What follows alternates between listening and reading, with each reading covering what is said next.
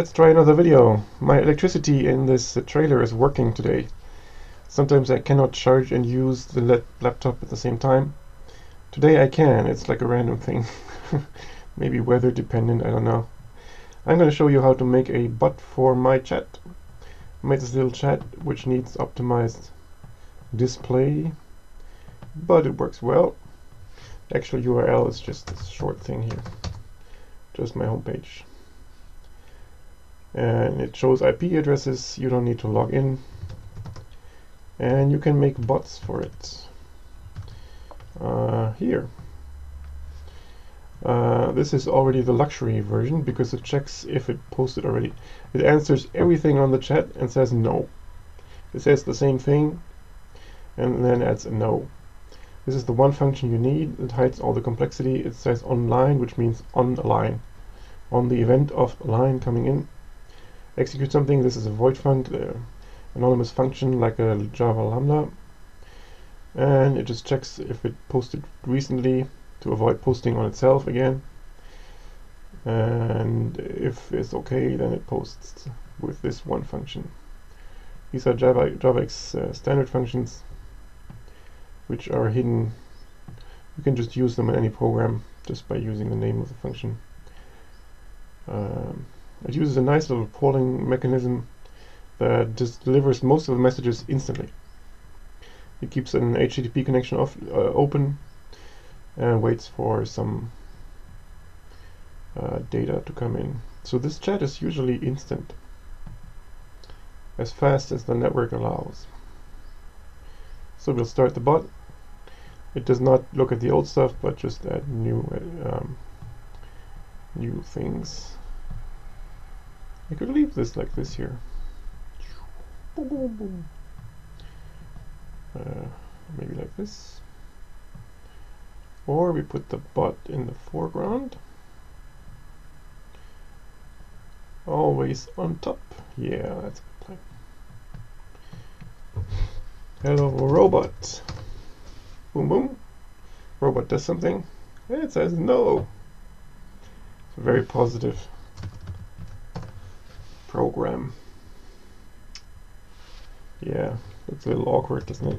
With the extra dot and the question mark.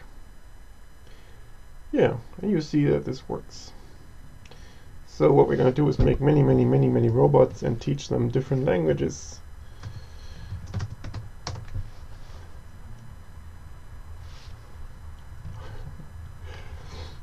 yeah, no.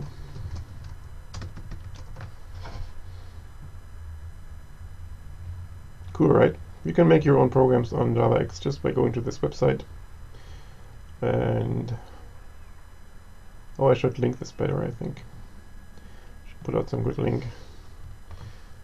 This might use to work.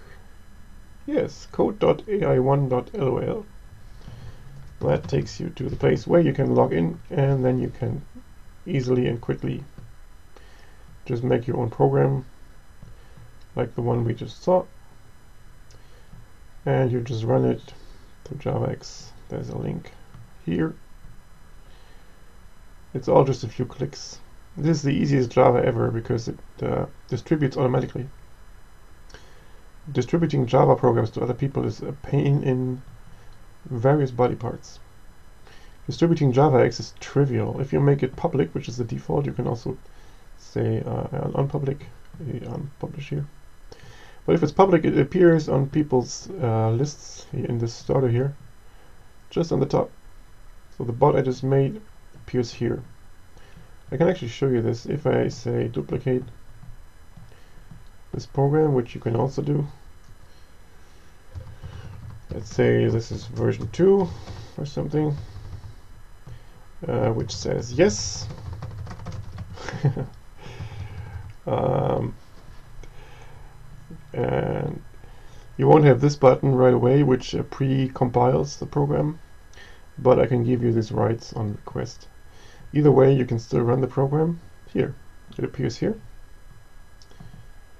I can run it maybe you can try both bots at once now we have the yes bot and the no bot and they have these posting delays so I think one of them will always win. Like randomly. Either we get a yes or a no. No, actually it's bullshit. I think we get both. We get yes, no, or no, yes. We should usually see both of them. Hello, bots.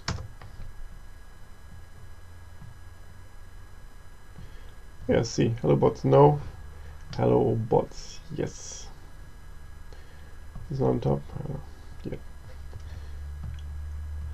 I'm too stupid to operate Windows.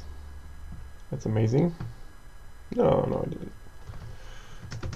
One, two, three. No, yes, yes, no, no, yes. Are you confused? No, yes. Yeah, that was a demonstration. Short programs, as always. And we'll work from here and, um, yeah, teach the bots some language.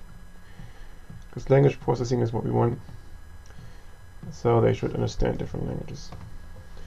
Oh, and we have new domains, which are very cool. Uh, over the weekend, we'll have a new domain, like company name. I'll tell you later. Goodbye.